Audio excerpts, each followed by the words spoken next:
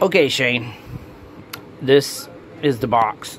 Um, I don't know what it's so close up for, but anyway, when you put your last hook on, which this is my last hook, and this over here on this side, it should be, okay?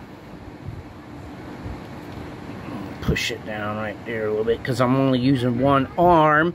It is very hard to do this with one arm. But anyway, yeah, don't put them in tight. Keep them loose so they come out of the box without getting stuck and ripping the whole thing off when it's going out in the water. Okay, anyway, you see how that's there? You bring it backwards this way, drape it over, you know. Me, I always make sure this hook's ready to be put over there. It's fine, it's not bent. But this is when you put your box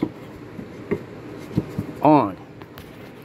And after you put your box on, yeah, you loop this over the hole and start back this way.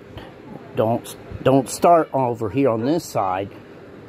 Start here and then do the same thing and then you come to this end and you'll do the same thing. You'll put the the drop will go this way and over and you put your other box and that's that's easy. As easy as that way. All right, man. Later.